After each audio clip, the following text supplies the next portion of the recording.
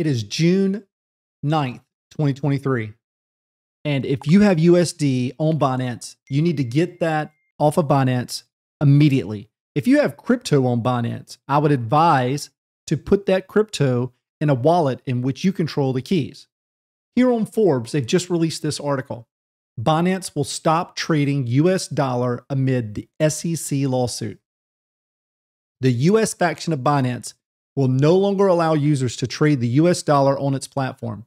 The crypto exchange operator announced late Thursday after banking partners began cutting off the firm amid a crumbling crypto market in the US as regulators sued two industry giants this week.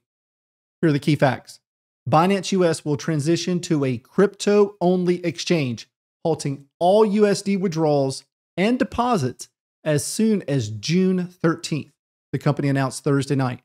The company's payment and banking partners signaled their intent to close out USD trading with Binance due to the Securities and Exchange Commission's lawsuit filed Monday alleging the company was dodging regulation and operating illegally, which Binance reiterated in its Thursday statement was baseless. The halt on USD trading will last until we secure more stable banking partners, Binance said. The key background a day after suing Binance, the SEC asked a federal judge in Washington, D.C. to freeze assets tied to Binance US's holding and operating firms, BAM Management US Holdings and BAM Trading Services.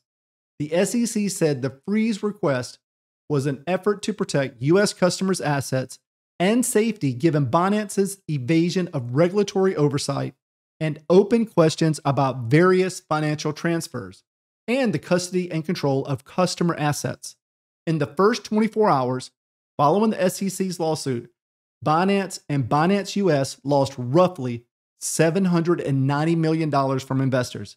The SEC followed its Binance lawsuit with a slightly less damning suit against Coinbase, a major Binance competitor based in the US. On Friday, mobile trading app Robinhood announced it would delist three crypto coins, all of which are among the most valuable coins on the market. Robinhood will pull Cardano, Polygon, and Solana from its platform on June 27th at which point all stocks will be sold and credited to former holders' accounts. Together, the three coins have a total market capitalization of 31 billion, still a fraction of the market compared to Bitcoin's 540 billion market cap. Cardano, the largest of the three, was down 4% on Friday. Over on the Binance US Twitter, they put out this announcement. And all the Binance US customers should have received this letter. The big major point is highlighted right here that says we encourage customers to withdraw their USD via bank transfer by June 13th, 2023. Due to elevated volumes and weekend bank closures, ACH withdrawals may take longer than usual to process, up to several days. We appreciate your patience. It's Friday.